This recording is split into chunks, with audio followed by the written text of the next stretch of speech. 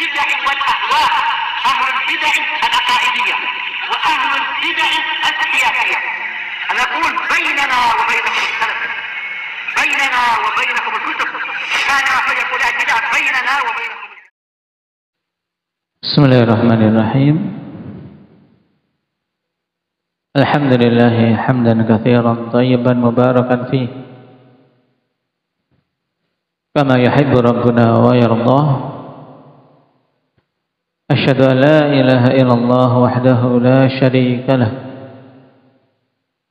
وأشهد أن محمدا عبده ورسوله. صلى الله عليه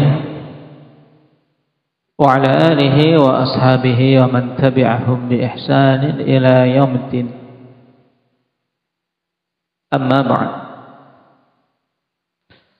Pertemuan yang lalu kita telah selesai dari fasal yang pertama yaitu terkait adab penuntut ilmu terhadap diri sendiri.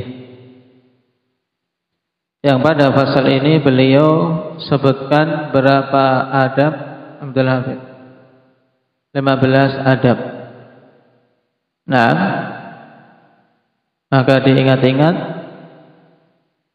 adab-adab tersebut yang sangat penting bagi setiap talib untuk berhias dengannya. Dan yang terakhir yang ke-15 yang kita ambil apa itu? Adabnya akmal.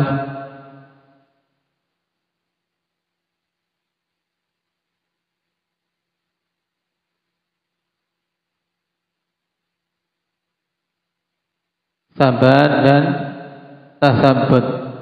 Yang dimaksud dengan sahabat di sini maksudnya apa? Anda Alhamdulillah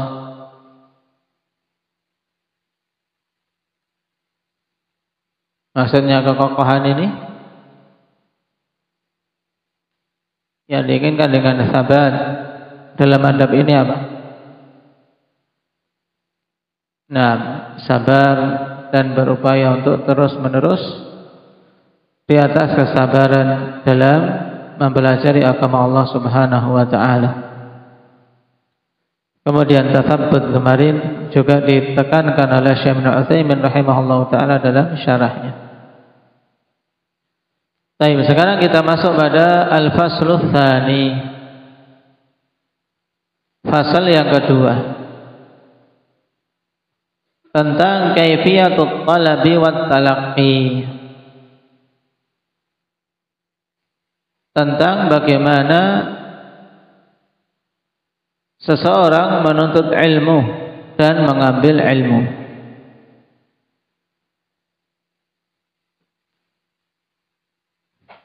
Kenapa akhwan butuh kita mengetahui kaifiyatul talab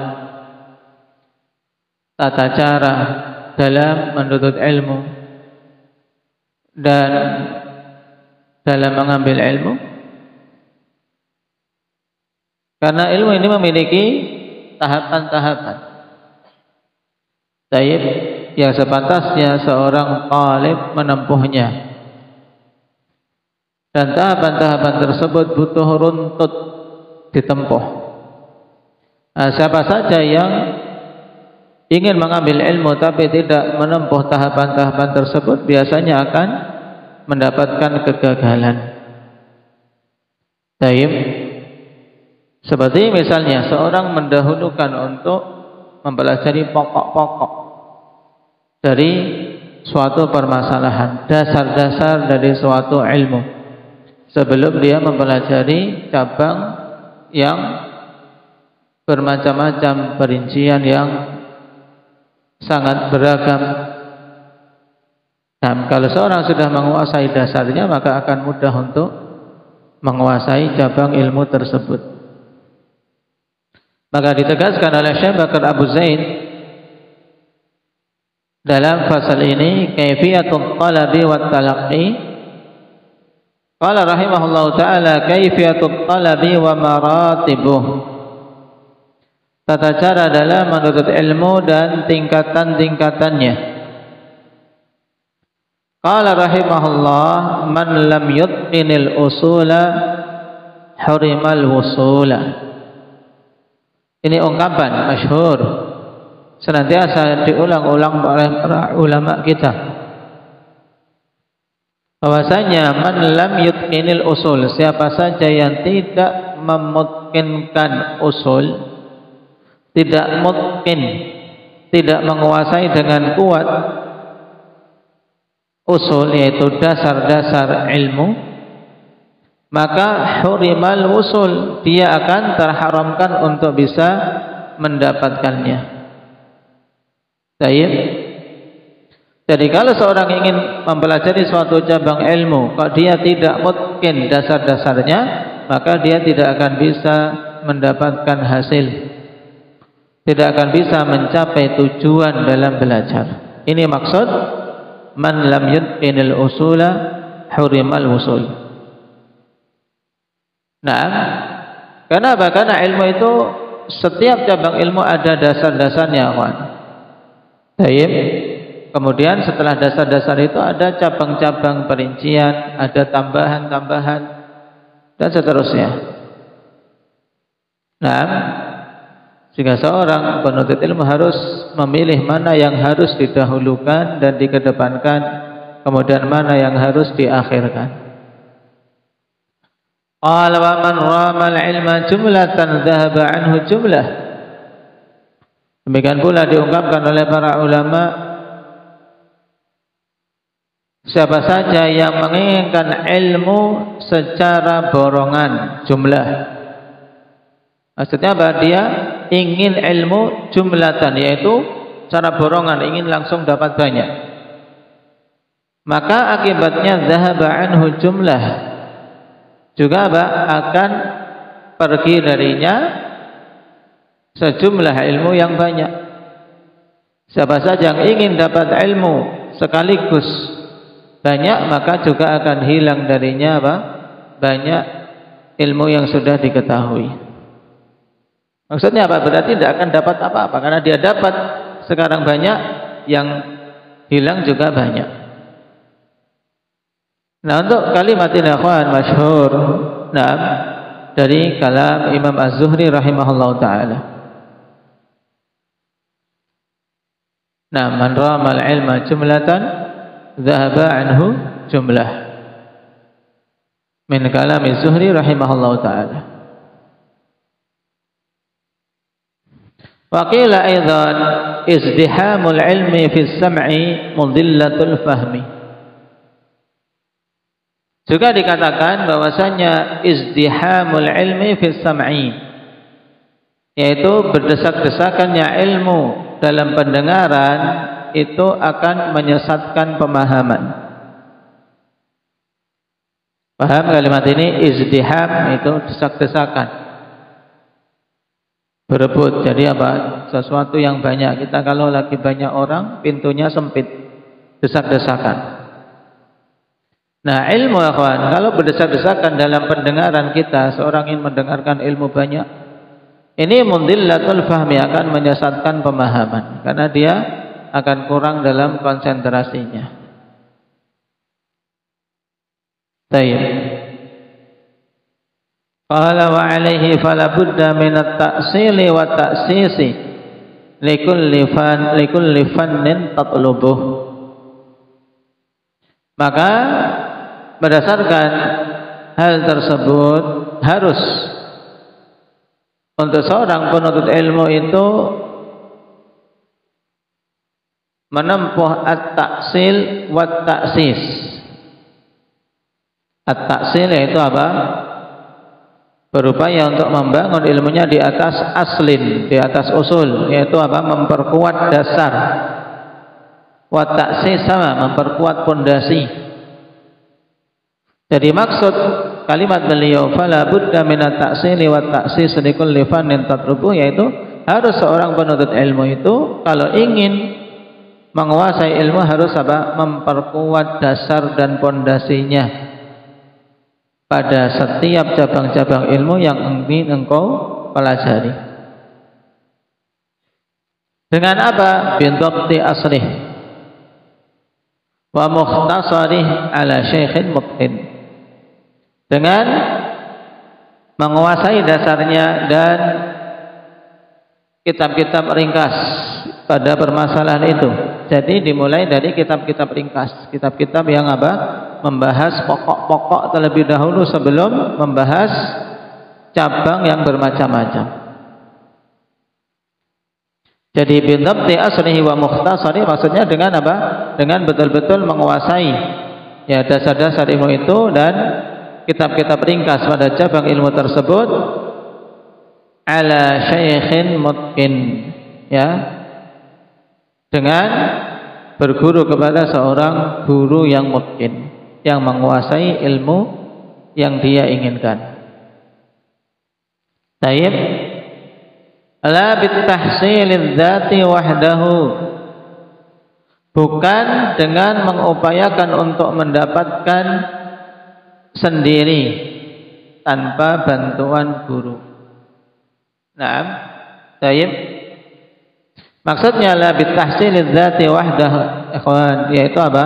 Jangan engkau mengambil ilmu dengan upaya untuk mengambil dengan sendirinya dengan membaca kitab begitu tok tanpa pernah berguru kepada seorang guru. Kenapa? Karena yang demikian ini akan menjadi sebab seseorang terjatuh dalam banyak kekeliruan. Keliru dalam pemahaman, keliru dalam penerapan. Tayyib. Makanya butuh seorang dalam belajar ilmu terlebih lagi ilmu din untuk dia mengambil dari seorang guru. Karena ilmu agama ini warisan. Yang namanya warisan, kita butuh apa? Punya jalur. Punya jalur pewarisan. Sebagaimana dulu para sahabat mengambil dari Nabi, para tabi'in mengambil dari sahabat, para atba'ut tabi'in mengambil dari para tabi'in terus sampai ke kita. Nah, dari guru ke murid, dari guru ke murid demikian. Seperti warisan. Nah, diwariskan dengan jalur pewarisan. Karena Rasul sallallahu alaihi wasallam mengatakan, "Fa innal anbiya lam yuwarithu dinaran wala walakin warathul ilma." Ingin mendapatkan warisan ilmu ini ya harus menempuh jalurnya. Ini caranya yang diungkapkan oleh Syekh rahimahullah taala berarti akhwan yang pertama apa? dimulai dari memahami dasar-dasar ilmu. Kemudian yang kedua berarti apa? Dengan melalui bantuan guru. Kemudian yang ketiga wa akhidan at-talaba bit tadarruj dan mengambil Jalan dalam menuntut ilmu itu bit tadarruj dengan bertahap. Tidak langsung sekaligus ingin loncat tingkatan yang tertinggi ini tidak akan bisa. Tapi dalam belajar butuh tadarruj. Apa makna tadarruj? Syukran. Bertahap. Diambil dari apa? Durj. Durjun tangga.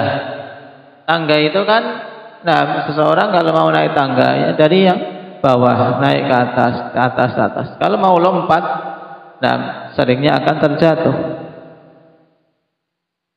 Ta'ala wa Qur'anan faraqnahu litaqra'ahu 'alan nasi 'ala mukthin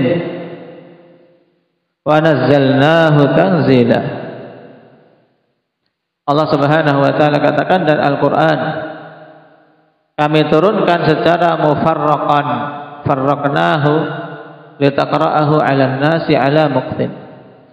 Ya, kami turunkan secara apa? bertahap, tidak turun sekaligus kepada manusia. Tayyib, agar engkau membacakan kepada manusia nah, dalam jangka waktu yang telah ditetapkan. Nah, sehingga manusia akan tidak apa? Tidak berat kalau diturunkan langsung satu mushaf mereka berat untuk menghafalnya. Tapi ditur diturunkan ayat per ayat sesuai dengan kondisi yang dialami oleh Nabi sallallahu alaihi wasallam.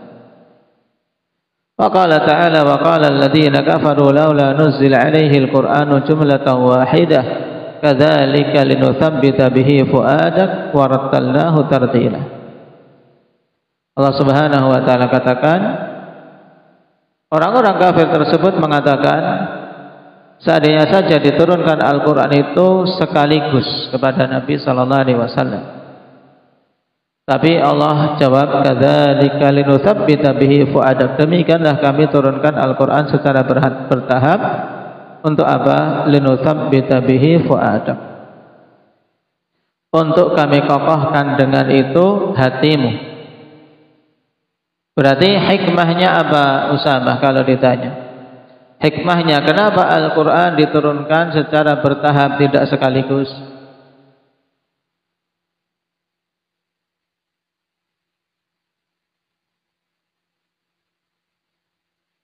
Dalam ayat linutsabbita bihi fuadak. Untuk apa? Untuk bisa kokoh Al-Qur'an tersebut di hati Nabi sallallahu alaihi wasallam. Dan juga untuk mengokohkan Nabi karena ketika turun suatu permasalahan dan turun ayat maka Nabi akan semakin kokoh. Jadi ada dua hikmah utama kawan. Diturunkannya Al-Quran secara bertahap. Yang pertama untuk apa? Untuk bisa kokoh dihafal oleh Nabi dan para sahabat.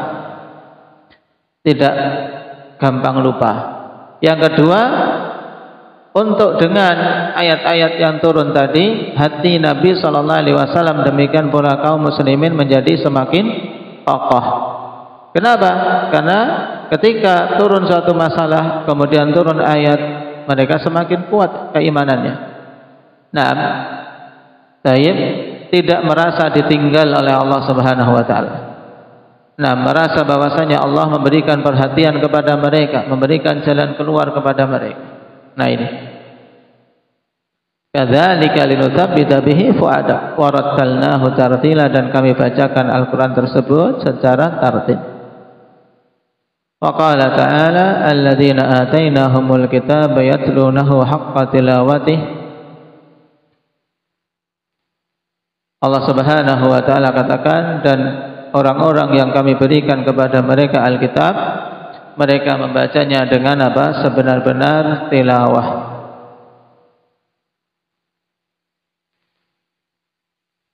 Ulaika yu'minu nabi. Ini pemotongannya kurang tepat kalau ulaika demikian. Dicetakan resmi dipotong saya mana?